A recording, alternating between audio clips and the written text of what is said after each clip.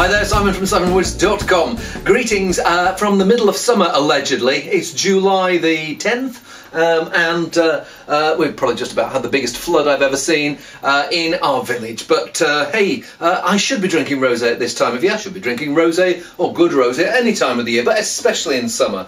Just that we don't seem to have had much of a summer. So hopefully by the time this ends up getting posted, the sun will have returned.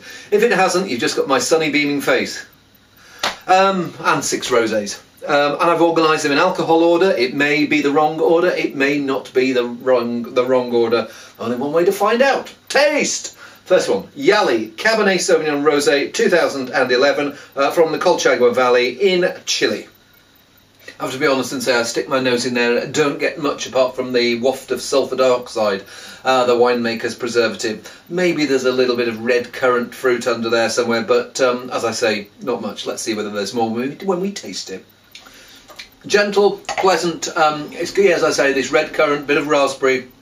Um, it's it's okay. Uh, I mean, uh, I, I, would love to have the weather to uh, this and have have this with some. Uh, I think maybe some grilled sardines or something because it's got a quite nice, quite nice citrus twang to it. Actually, it's growing on me. Um, so I've got that. Yes, I've got I've got that uh, that red currant, black currant, uh, but there's a bit of blackberry apple pie thrown in there for good measure. Um, one of those that um, I might creep up and surprise me and pass what I call the empty bottle test, as in I put these six bottles on the table. The sign of which is the best is the first one to be emptied, uh, as long as there's not just me, of course. Uh, but um, yeah, actually, I'm liking it more with the longer it stays in my mouth. So. Um, hmm. Next one. Um, we are in Italy now, uh, and uh, this is Guerrieri, Rizzardi's 2011 Chiaretto from, uh, well, the Bardolino Chiaretto. Or uh, Chiaretto Classico. So these are these are Valpolicella grapes. Uh, the, those ones Cor- uh, Corvino, Rondinella, Molinara, and uh, let's see what they're like in. Um, actually, some some reds don't have as much colour as that. Uh, there's one later on that's pretty deep in colour, but anyway, let's try this. There's a soft, warm summer pudding feel about that. Um, feels like um, maybe the fruit's losing a little bit of its freshness, but rosé is not a wine that uh, uh, you really want to have lingering about uh, uh around for too long. Uh, so it feels like there's going to be this, yeah, rounded, gentle berry, um, and it feels like it's going to be okay it's okay. Bit of spice, bit of tan in there, bit of chewiness there. Um, maybe if the first one's something that you want to sit by itself, this one feels like it needs some. Uh, uh, definitely needs a little bit of food to food to bite on. Some some uh, um, yeah prosciutto or something like that. Um, so um, yeah, fruits, fruits sort of there, but uh, it's more on yeah, it's more on this quite uh, nice spicy character that's coming through. And uh, as I say, I've done them in alcohol order. It's not particularly high, uh, twelve and a half percent, but I'm left with this warm, almost ginger-like bite on the finish. Um, interesting, and uh, certainly would have a second glass of that. Let's see how we get on with the next one. Harvey Nichols, a rosé uh, from Corbières, and it's got a lovely picture of a rabbit on the label, so we are predisposed to like it. Um, but uh, which is it from? Uh, Chateau Ollieux Romanis, uh, one of the uh, one of my favourite estates down in that part of the world. Yeah, back to the uh, nose of the first one, as in not much is jumping out of the glass. Um, maybe there's a little bit of spice there, a little bit of red fruit, but um, not very much of it more what I call a texture wine than a uh, flavour wine. What do I mean by that? Well, there's some wines when you taste them it feels like you've got a mouthful of fruit. This is one of those where when you've swallowed it or spat it out, as of course I do because I'm working, um, feels like there's quite a lot left in your mouth, um, and um, so that it feels like it's got it's quite fleshy. Uh, the fruit's not um, uh, overripe, so it's not like a, big jammy uh, character or anything, but there's spice there. Uh, there is this, um, yeah, again, what I call uh, past what I call the empty bottle test. It's not, uh, it's not jumping out to say hello, uh, but at the same time, it has a lot of understated, attractive features. I suppose a bit like me.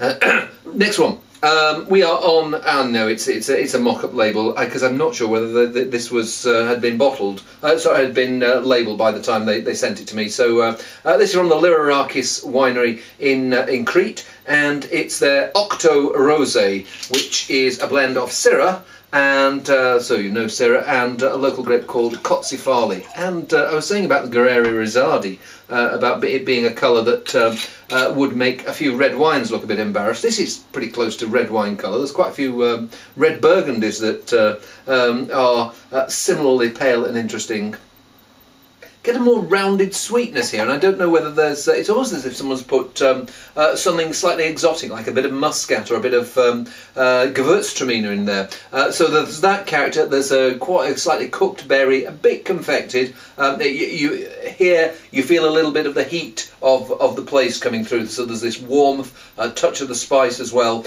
Uh, but um, feels like it's maybe not going to be as subtle as some of the ones before but maybe make up for it in guts and depth of flavour yeah, that's rosé for red wine fans. Um, it's got uh, sweet fruit, it's got these berries, it's got a little bit of uh, red cherry. Touch on the medicinal side, that's maybe the uh, bit of it I'm not so sure about.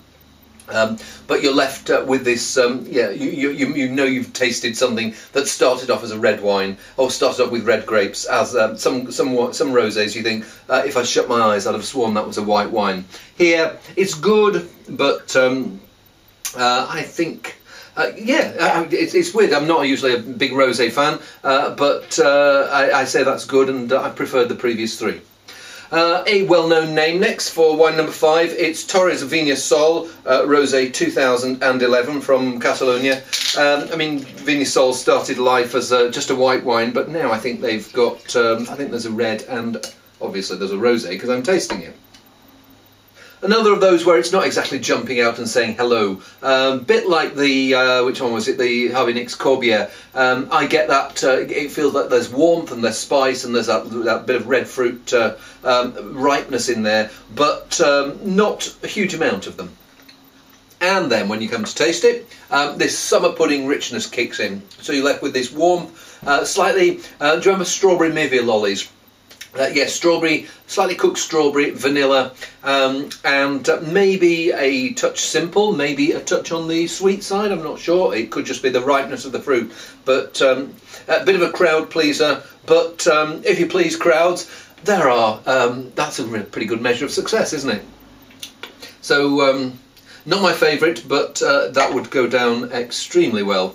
Um, final one is Ridgeback Shiraz Rosé from South Africa and from Paarl in particular.